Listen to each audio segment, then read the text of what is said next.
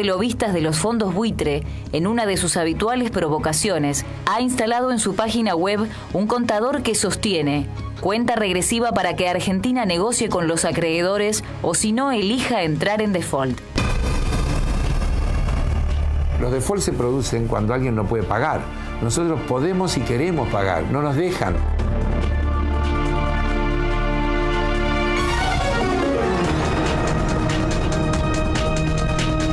El semanario estadounidense The Nation lo señala como el responsable de aportar 5 millones de dólares a dos ONG cuyo objetivo principal es financiar una campaña mediática. ¿Cuántos chicos estudian acá? Eh, nosotros contamos con 488 chicos distribuidos en dos turnos, eh, tres secciones cada uno, de primero a sexto año.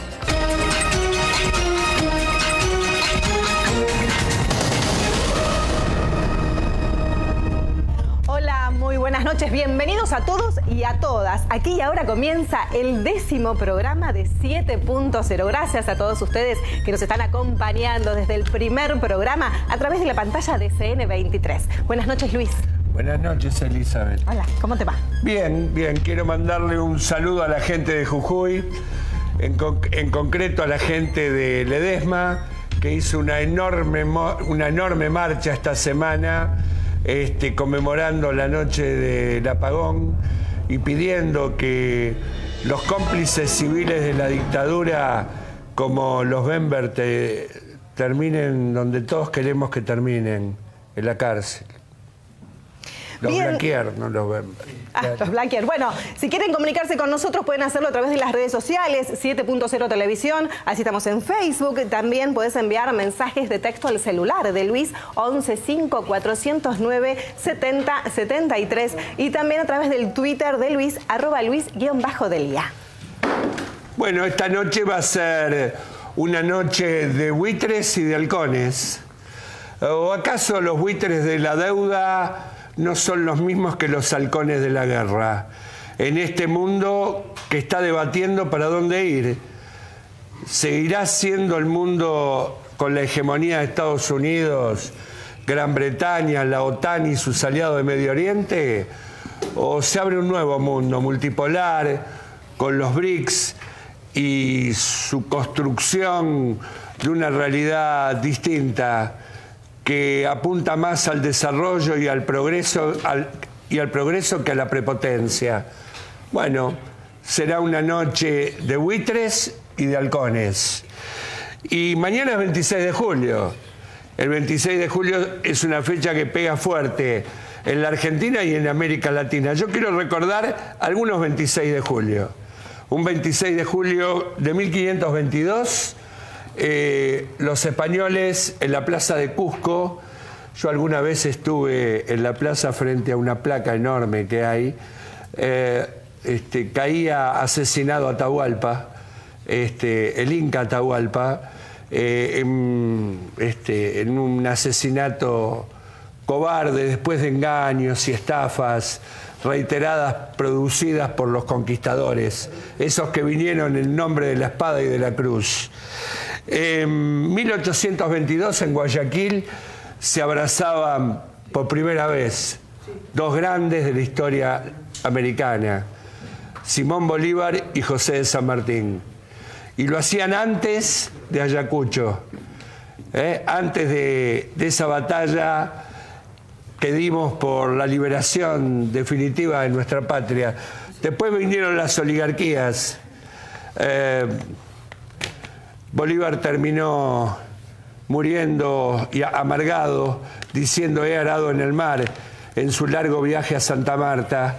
Y por otro lado, San Martín se fue a Bulón sur Mar y nunca más pudo volver a la Argentina. Primero porque lo mataban y después porque no quería volver a una patria ensangrentada por hermanos, por peleas entre hermanos.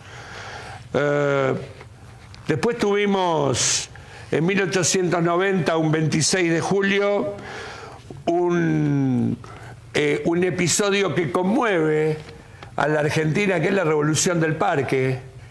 La Revolución del Parque de Leandro Alem, de su sobrino, don Hipólito Yrigoyen, esos que durante 18 años fueron una revolución fierrera, sí, los radicales fueron una revolución fierrera hasta conseguir la ley Saez Peña, esa ley que abrió las fauces a la democracia eh, tal cual la concebimos hoy los argentinos. Después tuvimos otro 26 de julio, pero de 1952, donde el corazón se nos llenaba de tristeza, porque moría una de las más grandes mujeres de nuestra historia, nuestra inmortal Eva Perón, esa que vivirá para siempre en el corazón y en la cabeza de nuestro pueblo. Dos años después, un joven, Fidel Castro Ruz, asaltaba el cuartel Moncada en Cuba, iba preso dos años, pero se fundaba el movimiento 26 de julio, un movimiento libertario al que después se va a sumar Ernesto Che Guevara. Eh, un, movimiento extraordinario que se plasmó un 26 de julio de 1953. Un grupo de jóvenes audaces, entre ellos Fidel y Raúl, eh, junto con otros. Eh, por eso todos estos 26 de julio están en el corazón de nuestro pueblo y de los latinoamericanos. Y una efeméride más. El 28 cumpliría 60 años nuestro querido Hugo Chávez. Eh, hasta siempre, comandante. Bien, y bueno, la historia de los 26 de julio de la mano de Luis Delía, el profe Delía, ¿eh? increíble la clase que nos dio. Bueno, y ahora, eh, después de varios viernes que no lo pudimos tener, a nuestro compañero Leonardo Cofré, afortunadamente ya lo tenemos con nosotros. Leonardo, buenas noches. ¿Qué tal? Buenas noches. Y pensaba mientras tengo que presentar lo que en un rato vamos a ver, que desde los primeros tiempos de la historia, en este caso de nuestra historia patria, con pulso febril y canalla, si ustedes quieren las dos cosas por partes proporcionales, se ha venido escribiendo una historia, una historia nefasta para nosotros y que por estos días tiene su colofón, que tiene que ver con los fondos buitres y desde aquel empréstito Baring eh, que se dio allí en el principio hasta hoy, esta historia se ha venido repitiendo y como decía se viene escribiendo con el mismo pulso acaso este, febril y canalla. Sobre esto nos vamos a adentrar en esta noche seguramente con un informe especial sobre los fondos buitres, cómo actúan, de qué manera eh, son prohijados aquí en el país y con quién tienen vínculos sobre todo. Francisco Noriega, buenas noches. Gracias, Leo. Buenas noches para todos. Bueno, tenemos como cada semana la tapa que no fue, grandes noticias que debieron ser tapa de todos los diarios y en algunas no salieron. Las vamos a repasar nosotros. La primera tiene que ver con General Rodríguez, tiene que ver con la nueva planta que inauguró la gente de Yamaha, 250 nuevos puestos de trabajo. Eh, esta semana la fábrica japonesa inauguró junto a la presidenta de la Nación la ampliación de su planta de motos y triciclos en la Argentina, una inversión directa de 120 millones de pesos y 250 nuevos puestos de trabajo, una alegría ¿eh? para todos los argentinos, bueno, capaz que para algunos no. La segunda, Atucha 2 ya funciona a su 50%, el nuevo reactor nuclear ya superó su capacidad media de generación de energía eléctrica, se espera en unas semanas llegar a 3 millones de usuarios. Una más, Estados Unidos publica en salud social, también Argentina lidera un estudio hecho en la Universidad de Washington destaca que por sus planes de salud la Argentina logró bajar la mortalidad por VIH-Sida y tuberculosis más que la media mundial y que logró eliminar las muertes por paludismo. La última, el superávit comercial que ascendió a 1.379 millones de dólares, una cifra que en lo que va del año acumula 3.684 millones de dólares de superávit comercial. Algunas buenas noticias que debieron ser tapa de todos los diarios, algunos no la pusieron, la ponemos nosotros, como cada semana, en la tapa que no fue. Eli, vamos con vos. Bueno, sí, ya me gustaría contarles quién va a estar en un ratito conversando con Luis acá en el estudio de CN23, el diputado Carlos Raimundi, ya lo tenemos en el living, en un ratito vamos a estar conversando con él y les recuerdo a aquellos que quieran ya empezar a enviar mensajes de texto al celular de Luis 115 409 7073. Y ahora vamos a hacer contacto con el móvil que se encuentra en el bar El Revolucionario. Ahí está Néstor Picone. Buenas noches. ¿Qué tal? Buenas noches Elizabeth, buenas noches Luis, buenas noches a todos los compañeros. Sí, estamos en el bar El Revolucionario, un bar integrado y en el marco de lo que es la Fundación de Madres de Plaza de Mayo, acá en esta fría noche en la Plaza del Congreso. Este es un bar que habitualmente la gente, y ustedes lo podrán ir viendo en las imágenes, acá sumándome a ese recordatorio y a ese efeméride que hacía Luis, eh, se me ocurría pensar todas las consignas que siempre antepusieron dos versiones Liberación o Dependencia, Abradero Perón, este, y ahora esta que desde Argentina planteamos, este, Buitres o Patria, ¿no? Este, en esta noche, en estos bares, en estas mesas que se junta la gente a discutir, nos vamos a juntar con los chicos de la GENAP, Grupo de Estudios de Economía Nacional y Popular, que son tres o cuatro compañeros, con los cuales también vamos a aportar al debate que ustedes están planteando desde el piso. Así que muy contento de poder participar y de sumar ideas a este debate central en la Argentina de hoy. Muy bien, Néstor, y a pesar de ser una noche tan fresca, aquellos que quieran acercarse al bar El Revolucionario queda justo frente a la Plaza Congreso. Sí, yo estoy maravillado por la boina de Picone. Es una boina bueno, espectacular, usted vio... ¿eh? Usted vio Delía que yo voy a cada lugar que voy, tengo el sombrero de acuerdo, de acuerdo a ese lugar. Cuando era la noche de Pichuco tenía otro sombrero. Claro. Es mi forma de, atender el frío y también de acomodarme a la realidad que me toca cubrir. Bueno, felicitaciones por la boina, ¿eh? la verdad que... Muy bien, muchísimas gracias Néstor. En un momentito nada más volvemos con vos. Ahora nos vamos con Leonardo. Sí, alguno decía por ahí que para ser hay que parecer, ¿no? Y cuando uno empieza a ver de qué manera algunos sectores actúan, empieza a entender cómo es este funcionamiento. Me estoy refiriendo a los fondos buitres, cómo es su accionar, y es el primer informe que tenemos el agrado de presentarles. Los buitres de adentro y de afuera. En la mismísima semana en la que la Argentina cerró acuerdos fundamentales con Rusia y con la República China, en la que el reactor nuclear de Atucha 2 alcanzó el 50% de su potencia, en la que Yamaha puso en marcha sus nuevas instalaciones con una inversión de 120 millones de pesos, un nuevo fantasma recorre la Argentina, el default. La American Task Force, el grupo de lobistas de los fondos buitre, en una de sus habituales provocaciones, ha instalado en su página web un contador que sostiene cuenta regresiva para que Argentina negocie con los acreedores o si no elija entrar en default. También, y en línea con semejante desparpajo, decidió publicar un artículo que sostiene que el gobernador Daniel Scioli, el alcalde Mauricio Macri y el congresista Sergio Massa son los mejores candidatos para las elecciones presidenciales del 2015.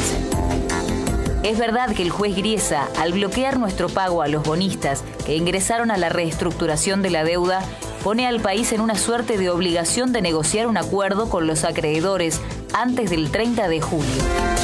Sin embargo, la única verdad es la realidad. Y más allá de la extorsión de un grupo minoritario de buitres de adentro y de afuera, la Argentina ha cumplido con el depósito de 1.051 millones de dólares para los bonistas que entraron al canje.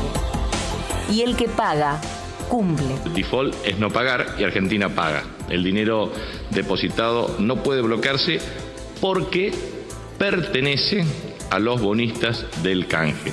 Y el juez debe dejar de cobrar a sus legítimos dueños. No hay dudas de que la responsabilidad de desanudar este embrollo quedó en el despacho del juez Griesa. Mientras tanto, el relojito sigue corriendo. ¿Qué pasará cuando pare? Bueno, tenemos una visita que puede hacer en esto un, un gran aporte el compañero diputado nacional de Solidaridad e Integración, el compañero este, Carlos Raimundi. Buenas noches, Carlos. ¿Qué, tal? ¿Cómo estás? ¿Qué tal? Bueno, Felicitaciones eh, por, el, por el programa. Bueno, muchas gracias. ¿Qué pasa el 30, Carlos? Bueno, este, ojalá se pueda encontrar una salida técnica, pero aún si no se encontrara, eh,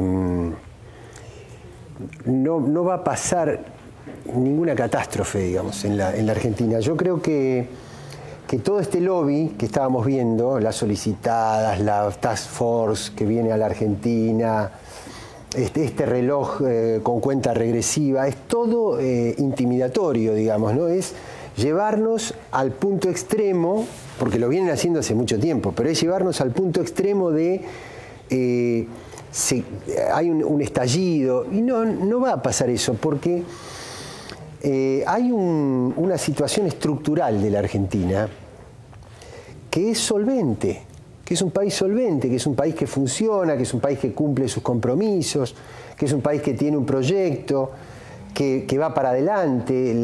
Eh, los avances en materia energética, por ejemplo, de nuestro país son, son muy importantes.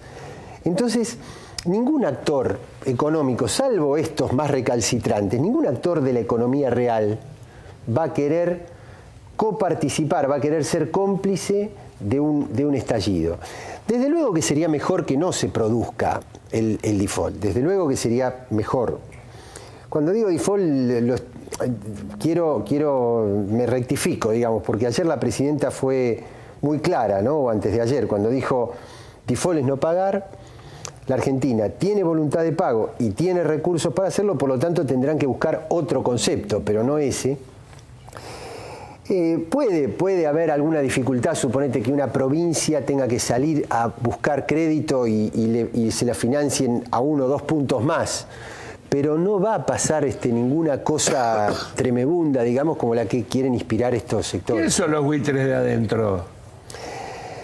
Ah, viste que en estas cosas, así como nosotros queremos romper las fronteras de, los países y generar la patria grande, bueno, ellos también actúan sin fronteras eh, nacionales. Ellos tienen actores internacionales, actores globales y tienen delegados, digamos, ¿no? Tienen delegados en el, en el país. Yo creo que son de dos órdenes. Primero los economistas. Los economistas que desfilan por los programas, que se cansan de decir que la Argentina lo que tiene que hacer es hacerle caso a Griesa, que eso es lo mejor que podría pasar. ¿Por qué dicen eso? Porque ellos, ellos también nos quieren llevar a la situación de Argentina no va a poder resolver este problema, de la única manera que se puede resolver el problema es volver al Fondo Monetario Internacional. Entonces ellos, esos mismos economistas, vuelven a cobrar comisiones porque son ellos los que van a negociar eso. ¿Y qué dice la presidenta? ¿Qué dice el ministro de Economía? Dice, la Argentina no va a hacer eso, no va a volverse a hipotecar. Eh, ¿quiénes les pagan? digo, ellos se presentan hablando en nombre del saber, ¿no? Ahora, lo que son verdaderamente es lobistas del poder. Y el otro punto son los medios de comunicación. Los otros son los periodistas, digamos. Son los dos planos en los que actúan. Economistas y después tiene los, los chirolita políticos. ¿Los periodistas o los grupos comunicacionales? Sí, los grupos, desde luego. De los grupos que utilizan periodistas. ¿no? esta charla estaría interesante poder integrar al móvil a Néstor Picón y los compañeros del GENAP que están en el bar El Revolucionario en este momento. Me parece que amerita la charla que estás teniendo Luis con Carlos Raimundi. Néstor, ¿escuchabas eh, la charla? Sí, sí, estaba escuchando y queríamos, sería bueno aportar, ya arrancamos con un compañero de la GENAP, eh, Santiago Frachina, y me parece importante preguntarle lo que todo el mundo se pregunta, si finalmente Griesa hace lo que dice que va a hacer, ¿qué va a pasar en la Argentina? La realidad que eh, no va a pasar nada en el sentido que la Argentina no va a entrar en default, porque el default es cuando alguien no paga y la, Argentina pagó. El problema no es de pago, el problema es de cobro. La, Argentina depositó la planta en el Banco de Nueva York y cuando depositó la planta en el Banco de Nueva York, el Banco de Nueva York obviamente consultó al juez Griesa qué hacer y el juez Griesa tenía tres alternativas. Uno es embargarle la plata y pagarle los fondos buitres, no hizo esto. La otra es permitirle al Banco de Nueva York que le pague a los bonistas, a los holding, tampoco hizo esto. Y la otra es decirle que le devuelva la plata a la Argentina y poner a negociar a través de un intermediario, POLAC, a los fondos, a los fondos buitre con el gobierno nacional. Ahora, el gobierno nacional lo que dijo que la plata no es más de, de, la Argentina, sino que la plata de los bonistas. Por lo tanto, el problema ahora lo tiene el Banco de Nueva York de cómo le va a pagar a los bonistas porque el juez Griesa no lo permite. Pero, repito, no es un problema de pago, sino que es un problema de cobro y eso por eso decimos, esto Eh, técnicamente no es un default. Santiago. Sí, díganme. Eh, Sí, Sa- te- Santiago, una pregunta. Sí, ¿Cómo estás, Luis? ¿Cómo estás? Eh, digo, cuando uno ve a cualquier eh, periodista o columnista de estos que trabaja en la prensa hegemónica, una prensa bastante articulada con los intereses de los fondos buitre, enseguida hacen terrorismo y empiezan a decir que esto va a incidir sobre la inflación, sobre el consumo interno, sobre los salarios, sobre las exportaciones. ¿Qué, impresión tenés vos, este, Santiago, de esto? No, lo que van a tratar de hacer sí es generar un estado de confusión para empezar a especular. Van a empezar a tratar de hacer una corrida cambiaria a través del dólar blue. Obviamente van a empezar a, a subir el dólar ilegal, que es un dólar manejado por un grupo minoritario. Lo van a empezar a subir, a generar un estado de confusión y a partir de ahí van a empezar a salir los economistas de la ortodoxia, del establishment, a decir que el gobierno nacional va a tener, tiene que devaluar porque ya el tipo de cambio se quedó atrasado y entonces van a empezar a intentar hacer una corrida cambiaria a partir de la confusión que generó el fallo del juez Griesa. Por eso más que eh, cosa, eh, una cuestión, un impacto real en la economía argentina, lo que van a hacer, los mismos de siempre van a especular con una corrida cambiaria, que son los sectores agroexportadores que se benefician de un tipo de cambio más alto, como ya lo intentaron a fines del año pasado y principio de este año haciendo una corrida cambiaria. Y eso se van a montar a partir del estado de confusión que ya están generando a partir de los medios de comunicación hegemónicos. Eh, Raimundi. Y yo estoy de acuerdo, desde luego que él es, el, especialista, digamos, ¿no? Pero en términos políticos es eh, seguir en el camino que ya vienen trayendo, porque eh, aún con independencia del, fallo del juez Griesa, eh, ¿A qué apostó el poder durante todo este año? ¿A qué viene apostando desde hace varios años, digamos? Pero vamos a lo más cercano. Era eh, incumplir los acuerdos de precios y desbordar los aumentos y apostar a que las paritarias se descontrolaran, de tal manera de volver a ese ciclo histórico que tiene tanta memoria lúgubre la Argentina, ¿no? de, de- de precios y salarios eh, tratando de- de desbocarse. ¿Para qué? Para decir, todos los precios aumentan, el dólar quedó en 8 pesos, hay que volver a devaluar. Y entonces, eh, volver a devaluar, ¿qué significa? Que ellos, que son los que están, como decía Franchina, sentados en la cosecha del año pasado y de este año, cuando liquiden, en lugar de liquidar y que el Estado le dé 8 pesos por cada dólar, le dé 20, le dé 15, le dé 30. Digo, hay una puja política ahí, donde obviamente el fallo de Griesa juega a favor de esa confusión que decía él. Pero yo creo que hay un gobierno con una solvencia técnica. Yo creo que ha habido mucha solvencia en la negociación, porque hasta hace 20 días teníamos Griesa y la Argentina. Y hoy, cuando el gobierno deposita la plata, incorpora a otros actores, que son los bonistas. Es decir, señor, págueme si esa plata es mía. Entonces ahora Griesa tiene más problemas que los que tenía hace 20 días, porque hay otros actores que le van... Este, que, le van diciendo. Desde el punto de vista técnico creo que fue muy solvente el gobierno y desde el punto de vista político tiene una dignidad eh, extraordinaria, porque la presidenta dice, nadie van a pasar sobre mi cadáver antes de hacerme firmar algo que hipoteque la sustentabilidad de un modelo económico y el futuro de mis hijos y de mis nietos. Eh, Santiago, eh, ¿qué otra, eh, digamos, qué estrategia hay para, digamos, amortiguar esta posible acción de este bandidaje económico que tenemos nosotros en la Argentina que opera permanentemente en contra de los intereses populares? A ver, las visitas de Rusia y China en una semana y la integración al BRICS, ¿esto sirvió para algo? ¿Forma parte de esta escalada preventiva? ¿Cómo la ves? Sí, por supuesto. Fíjate vos que una de las cosas que dicen es que si no hacemos caso y no le pagamos a los fondos buitres no va a haber más inversiones en la Argentina.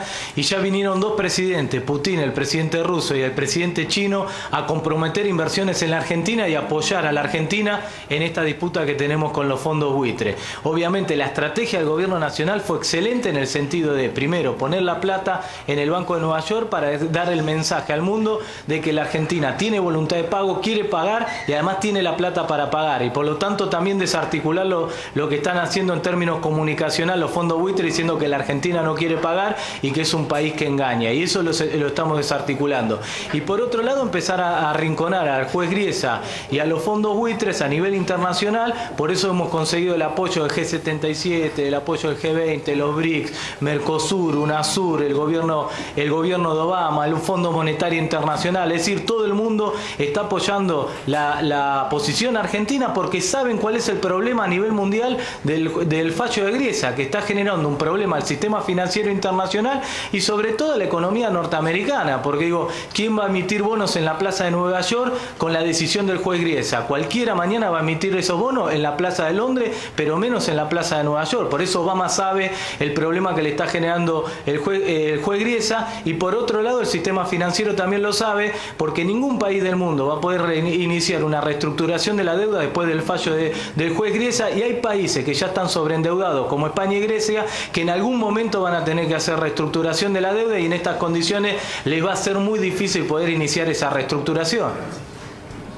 Bueno, eh, gracias Santiago. Antes de ir a, Francisco y Elizabeth, quiero decir que es impresionante la editorial de New York Times hoy dándole la razón a la Argentina, diciendo Argentina tiene razón. Dale. Muy bien, le pedimos a Carlos Raimundi que se quede un ratito más porque hay muchos temas también para seguir debatiendo con él, lo mismo que a Santiago Fraschina que está en el móvil. Pero ahora, bueno, sé, Francisco, que estuviste visitando una escuela, pero una escuela bien hecha, ¿no? Con aulas containers. Una de las nuevas. En este momento de, en donde la Argentina está sufriendo un apriete del sistema financiero internacional, seguramente es bueno tomarnos unos minutos para repasar lo que hemos hecho y lo que estamos haciendo. Y para vivir con alegría cuáles son las cosas que ningún buitre nos va a poder quitar. Por ejemplo, nuestras 1.730 36 escuelas nuevas. Nosotros fuimos a recorrer una, recorrimos la escuela número 108, una escuela primaria en pleno centro de Morón. Te la mostramos.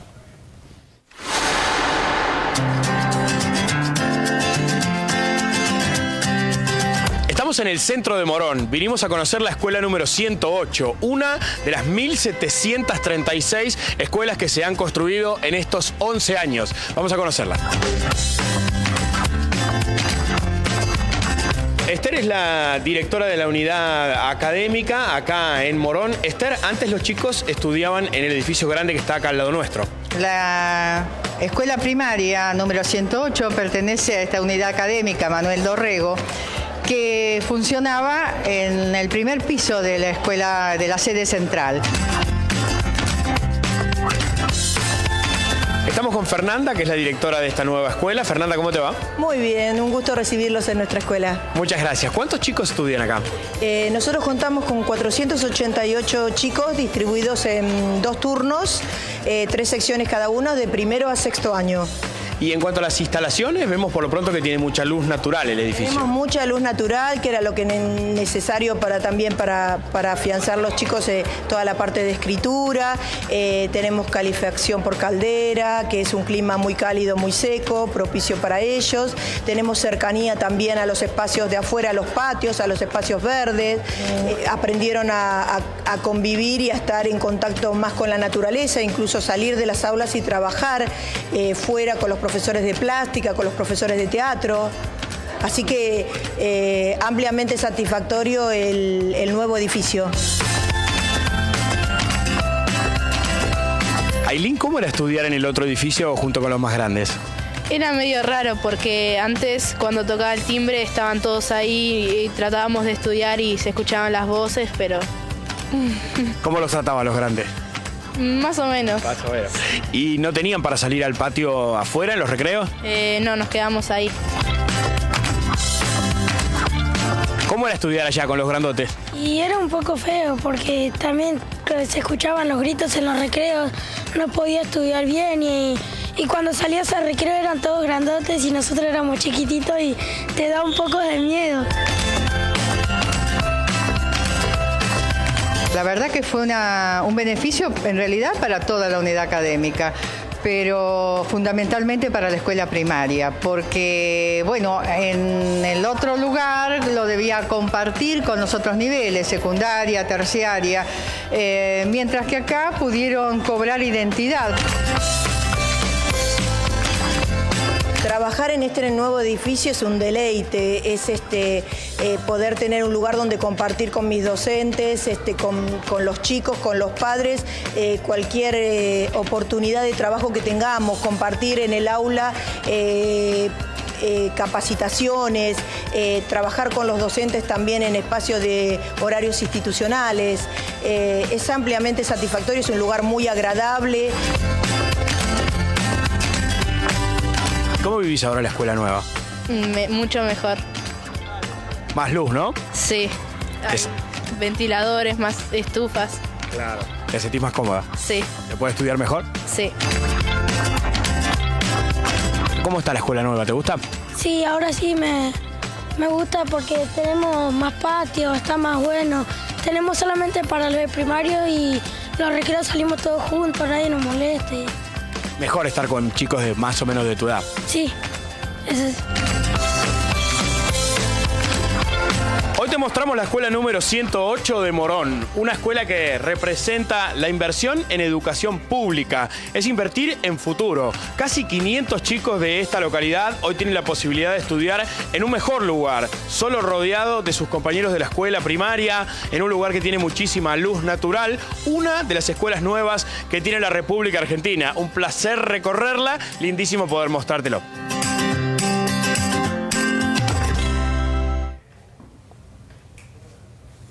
Bueno, con mucha alegría ver esta escuela 108 primaria. Al ladito, en el mismo predio, me recibí de profesor en el Instituto Manuel Dorrego de Morón, este, al cual uno siempre lo recuerda con tanto cariño. ¿no? En pleno centro de Morón. Bueno, la tomamos como ejemplo de lo que es invertir en infraestructura para, los chicos, tener un, edificio nuevo, poder compartir el edificio solamente con los chicos de, primaria es muy diferente, es un lugar diferente para estudiar. Estamos junto con, los de secundaria y junto con los del profesorado. Demasiada diferencia. Bueno, mostrar una de, las tantas escuelas nuevas que no nos va a poder quitar nadie, que ya están y que son para, los argentinos y para toda la vida. Eh, yo tenía un pequeño recuerdo. Eh, de cómo han evolucionado los tiempos. Hace, cuando yo era pibe, pibe 15 años, más o menos, ese era el Nacional de Morón. Y era prácticamente el, el único nacional, la única escuela media en toda la localidad. Eh, bueno, este, no está tan lejos eso, ¿no?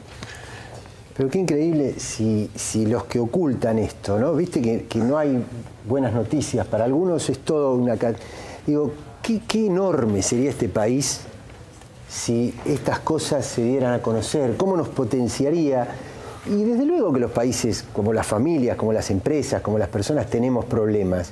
Pero cuando vos lo, lo, mechás con la verdad y, ves las cosas que se hacen bien, te potencia mucho la, moral para luchar de una sociedad, de un pueblo. Y yo creo que ellos también, aún los que ocultan, vivirían más felices este, ¿no? en un país más grande. Muy bien, muchísimas gracias, Carlos. Es verdad, viste, cuando las cosas se pueden hacer bien, se hacen bien. Claro que sí. Ahora te voy a hablar a vos. ¿Vos mirás los precios? Bueno, yo los miro con atención, porque ahora hay precios cuidados. Una canasta realizada en base a lo que los argentinos consumimos diariamente, con diferentes alternativas, tanto en tipo de productos como en tamaños y calidades. Si querés consultar el listado de productos, puedes entrar en la página de internet www.precioscuidados.com. Para informes y reclamos, anota este teléfono 0800-666-1518, porque a los precios los cuidamos entre todos. Ahora nos vamos a ir a un pequeño corte, pero no te vayas porque tenemos más informes sobre los fondos buitres que queremos compartir con vos. No te vayas. La máquina de fabricar gorilas. De vos eras maestra. Trabajabas como maestra y además tenías cinco hijos, cobrabas por ese ingreso. Al lado había una señora que no tenía trabajo. y que no quería trabajar, cobraba por los cinco hijos. Entonces, cuando la señora que trabajaba y además cobraba por los cinco hijos, como estaba en mejor condición social, iba comprando otras cosas, el hijo de la otra señora le decía, mamá, ¿por qué no vas a trabajar así estamos mejor?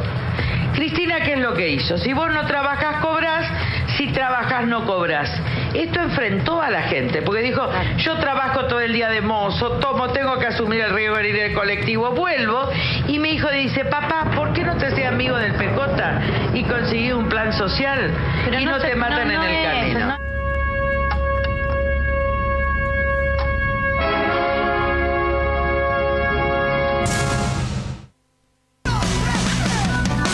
Sumate a nuestra red de amigos. 7.0 en Facebook. Amor, amor, amor. Subí tus fotos con Luis. Volví a ver los videos del programa. Comenta entre tus amigos lo que viste o simplemente sumate a esta gran familia. 7.0 en Facebook.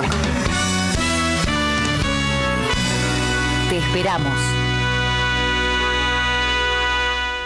Y aquí estamos en vivo, 23, 39 minutos, 10 grados 7 décimas la actual en la ciudad de Buenos Aires y seguimos aquí en CN23 7.0 con los mensajes de todos los que nos están enviando a través de las redes sociales, en el Twitter, arroba Luis-Delía, también a través de mensajes de texto, el celular de Luis, 115 409 70 73 y a través del Facebook 7.0 Televisión. Y si el director me pone acá algún mensajito, por ejemplo, oyentes de 7.0 del programa de Radio Cooperativa, dice Delía en CN23, recordando muchos 26 de julio Sembrando Futuro en Latinoamérica. Muchísimas gracias a todos los que participan. Acá dicen, no solo el tema edilicio es mejor en educación, el acceso a la información es clave en la construcción del conocimiento Delía en CN23.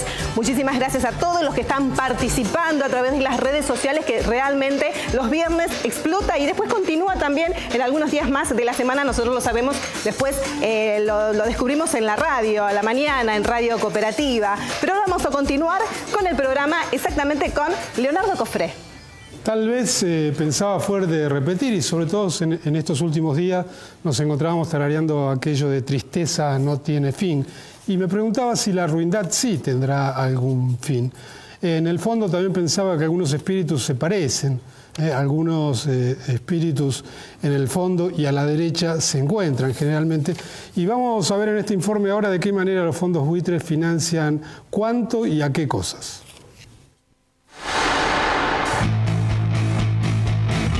Los buitres de la deuda y los halcones de la guerra. El especulador financiero Paul Singer es el jefe de NML, principal fondo buitre que acciona contra la Argentina. Por estos días se han conocido muchas cosas de Singer.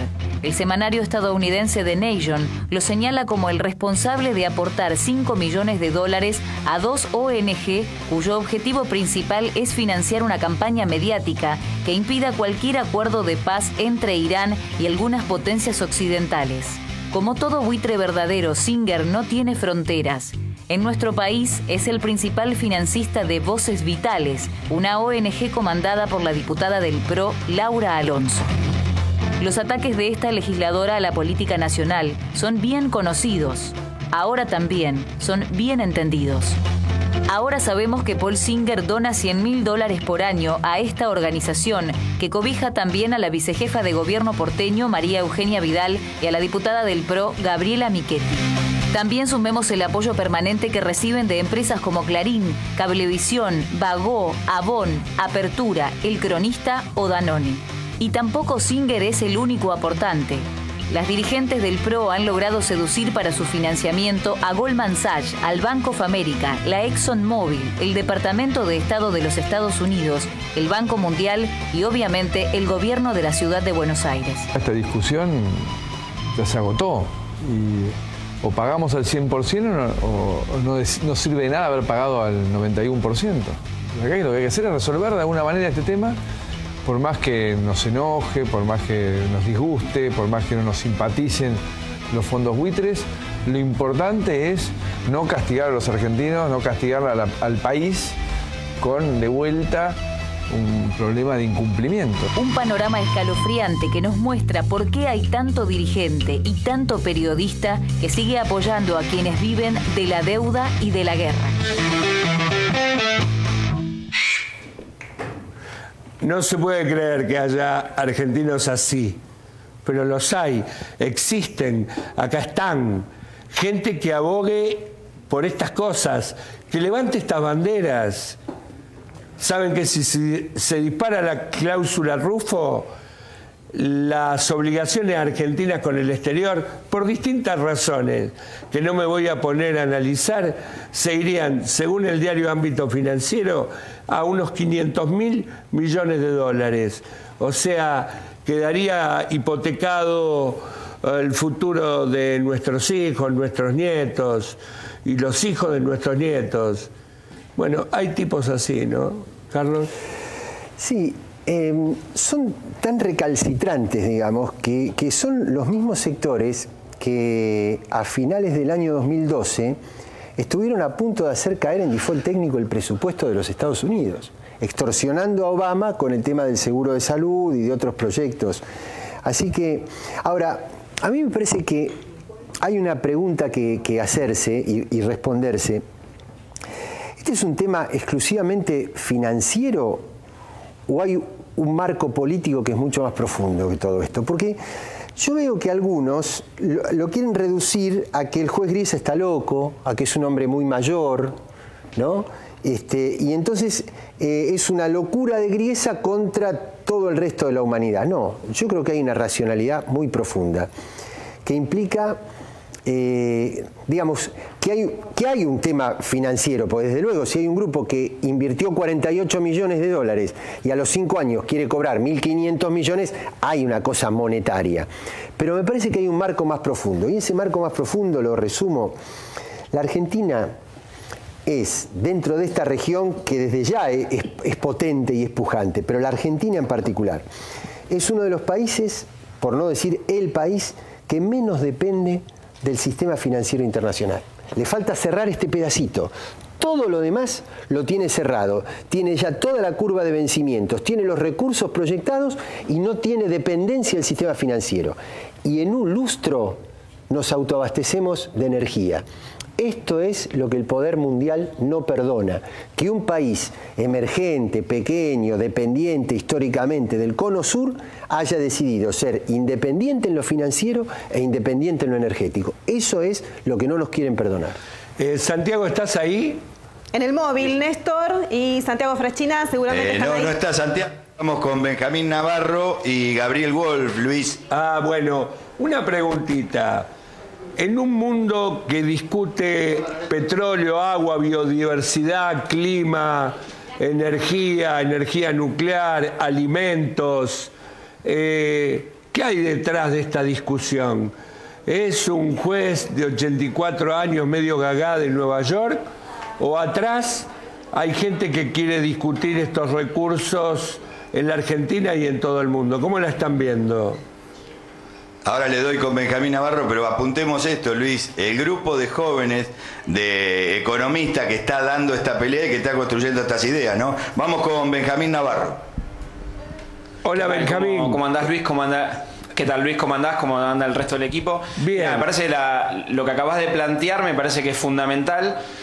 Em, básicamente los recursos estratégicos a los cuales vos estás haciendo referencia, hablaste de, varios en general, pero en particular tal vez del tema del gas y el petróleo, en particular en, el yacimiento que se encuentra en el sur del país, Vaca Muerta, es ni más ni menos que el segundo yacimiento o la segunda cantidad de recursos de hidrocarburos no convencionales y sin duda que esto es algo que es muy preciado.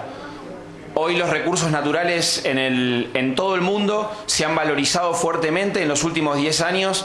Eh, se han valorizado los minerales, los commodities exportables de alimentos y también los commodities energéticos. Entonces, que en la Argentina haya eh, el segundo recurso más importante, este tipo de hidrocarburos, me parece que es fundamental. Y en este sentido me parece que este fallo apunta a tratar de reducir la soberanía en esto en términos, no solo en términos monetarios como recién se planteaba, sino también en términos estratégicos de los recursos naturales. Y se imaginan, Luis, lo que hubiera sido si IPF estuviera en manos extranjeras, ¿no? Por suerte lo tenemos ya recuperado, si no va como muerta sería mucho más difícil de defender. Sí, tengamos en cuenta que en, en ¿Qué tal, Luis? Buenas noches. Buenas noches. En épocas de la globalización financiera, ¿no? los bloqueos navales que le hicieron a Venezuela ya por 1902, o el Imperio Británico lo hacía con las fragatas, hoy lo hacen a través de los embargos y los embargos en los mercados financieros. Eh, nos conducen a esto, ¿no? Bueno, eh, realmente muy fuerte. Este, uh, ustedes saben que hay un mensaje de, escepticismo, se está haciendo terrorismo en la sociedad con una gran diversidad de temas. Un economista del campo del pueblo, nacional, popular, democrático, que tiene esta mirada eh, cuidadosa del mercado interno, de la reindustrialización, del trabajo argentino. ¿Qué le diría al tipo común que hoy nos está viendo en su casa? Y que nos siga apoyando en esta estrategia, que es algo importante que está viviendo el país, este, como líderes a nivel internacional, pero que también que hay que ir a laburar, que el miércoles eh, no hay default, Argentina pagó, va a seguir comprometido, como seguimos comprometidos en esta estrategia de desarrollo, industrialización y de empleo. O sea que no nos dejemos atemorizar por los capitales internacionales, lo vienen haciendo hace varios siglos, ¿no? Tratar de explotarnos, dejarnos sin laburo. Así que bueno, hay que ir a laburar y, y bueno, eso. Muy bien, Néstor, muchísimas gracias y le agradecemos a los economistas del GENAP, a Gabriel Wolf, a Benjamín Navarro y también a Santiago Fraschinas por haberse acercado hoy al móvil al bar El Revolucionario. Ahora vamos con Fran y Leo. Bueno, porque los buitres en la Argentina tienen aliados eh, políticos, comunicadores, economistas, pero también tienen la American Task Force Argentina. Literalmente es el grupo de tareas estadounidenses en la Argentina. El nombre no es casualidad, nos genera mucho dolor, muchos eh, recuerdos dolorosos. Además tienen una página de internet, que es esto que estamos viendo aquí. Llamativamente se define como una organización sin fines de lucro. Pensaba que muchas veces nos advierte, dice, tengan cuidado con internet, hay cosas nefastas. Y esto se asemeja casi a la pornografía económica.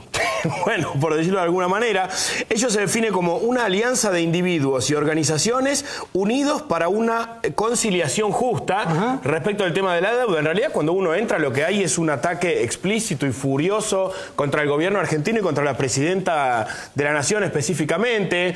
Te incitan a sacar, por ejemplo, una tarjeta roja que dice basta acá y que te la puedes bajar. Ahí la vemos a una señora en aquel cacerolazo del 2012. Aparecen muchas fotografías de aquel cacerolazo los dos subsiguientes se ve que ni lo fueron a cubrir o no había. El 8N, ¿no? Sí, claro, aquel del 8N del 2012. Después hubo otros dos cacerolazos, pero que ya no hay ni fotos, no fueron ni los fotógrafos. Pero en realidad, eh, esta página de internet de la, de la Tax Force lo que hace es atacar a Cristina Fernández de Kirchner y al gobierno nacional. No tiene mucho que ver. Y hay gente que lamentablemente entra en esto. Que en el fondo es lo que le molesta, ¿no? Si vamos a ser puntuales más allá del interés económico que tengan en lo de vaca muerta, lo que le molesta son los gobiernos populares, populistas. Sí, que tengan la firmeza que tienen acá en la Argentina, el apoyo popular.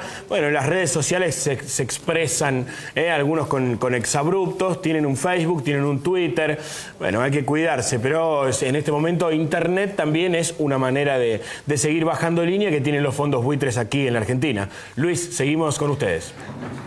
Eh, Bonelli, Lanata, Longobardi, Nelson Castro, Aripalucha, Alfano, Eliashev, Leuco, Magdalena, Morales Solá, Majul, Grondona, bla, bla, bla, bla, un montón. Vas a ver como por estos días vas a tener la Argentina el aire saturado de comunicadores diciendo que vamos al infierno, que vamos al desastre que hay que pagar. Bueno, sabe que esos tienen atrás a las grandes estructuras corporativas de este país que articulan con el discurso de los buitres.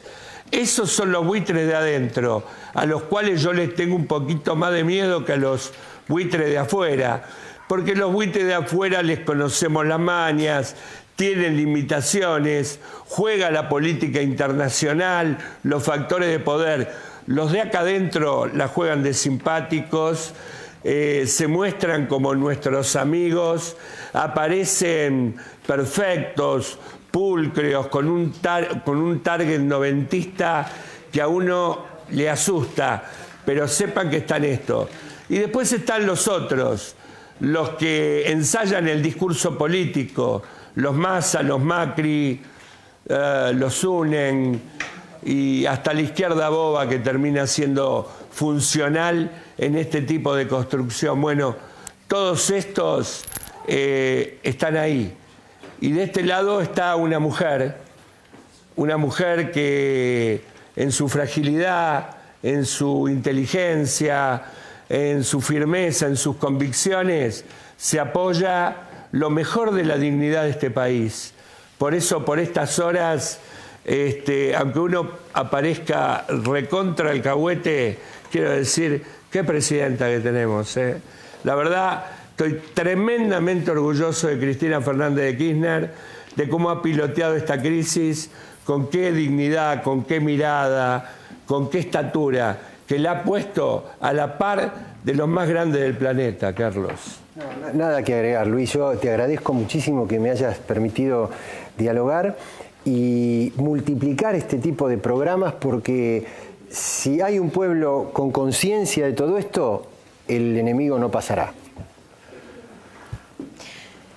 Muy bien, Luis, ya llegamos al final de nuestro programa. Muchísimas gracias al diputado Carlos Raimundi, Leo, eh, Francisco y también Luis. Muchísimas gracias a todos y a vos por estar todos los viernes a las 23 prendido a 7.0. Ahora no te vayas porque quedamos con Hipertexto 23. Chao.